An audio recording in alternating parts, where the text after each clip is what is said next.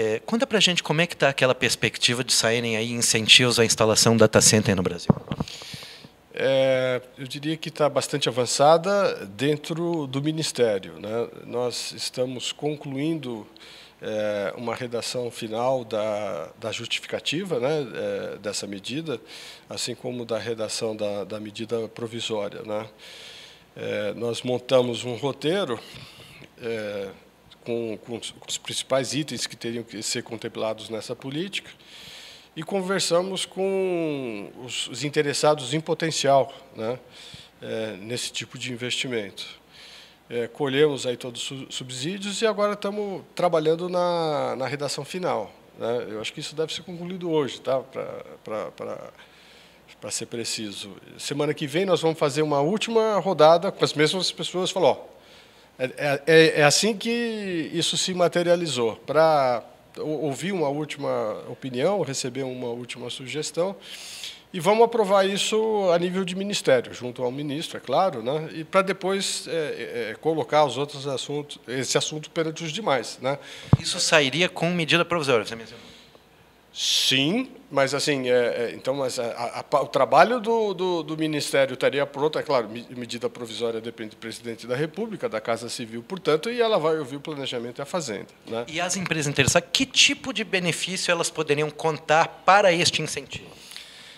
Tem é, uma série de benefícios, né? E, e, inclusive contando com o apoio do Ministério para cuidar dessa frente, né? porque é, são várias é, horizontais aí. Tem a questão tributária, tem a questão da localização, a questão da energia elétrica, é, são vários a questão aduaneira, é, é, a questão de, de, de testes de, de, equipamento. Então são essas frentes todas que estão sendo atacadas e fora os benefícios de tributários. Isso permitiria uma redução de custo para implantar data center? Não, não. Com certeza.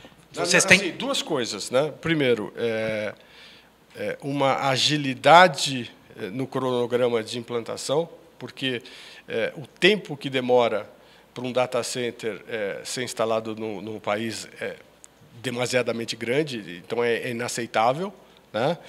E haveria uma redução de custo tanto do investimento quanto da operação, porque essas duas coisas são importantes. Não é só o que você investe, é o seu custo de operação. O Brasil tem que ficar competitivo com o resto do, do mundo. Né? O que a gente escuta, não só no Ministério de Ciência e Tecnologia, em outros ministérios, da dificuldade de termos medidas que impliquem algum tipo de renúncia fiscal ou isenção fiscal. Mas, para esse campo específico, vocês acham que seria viável? Entendo que sim, levando em consideração o seguinte, é, você não está renunciando ou prejudicando uma arrecadação existente. Você vai ter um benefício para algo futuro. Né? Então, eu, eu acho que estaria num, num, num, num, campo que você deveria contemplar, né? porque não prejudica o seu orçamento, né? É, o seu superávit, é, e, ao mesmo tempo, viabiliza o investimento que é tão necessário. Né? Uma, um segundo ponto, André. A Receita Federal já começou a publicar alguns atos cancelando benefícios dados dentro do RPNBL, porque as redes não teriam ficado prontas, os projetos prometidos não teriam ficado prontos dentro do prazo. Há alguma saída para isso? O que, o que, que o governo está propondo, o Ministério está propondo? Como é que se pode avançar nesse sentido? Eu, eu entendo que há. Né?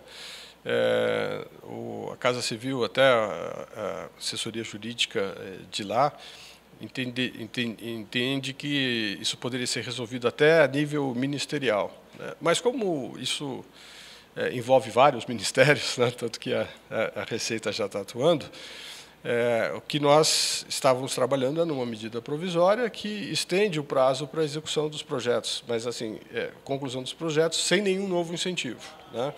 de forma a só não prejudicar aqueles benefícios que já foram é, materializados até o final do ano passado. A ideia então é que a parcela concluída até a, o prazo original mantenha algum tipo aquele benefício fiscal previsto. Exatamente. Esse é, a Casa Civil já tem entendimento que isso já ocorre e que eu poderia é, é declarar isso através de uma portaria. Mas é, como envolve vários ministérios para que a coisa seja pacificada e para que não haja nenhum risco, né, de um incentivo depois ser punido.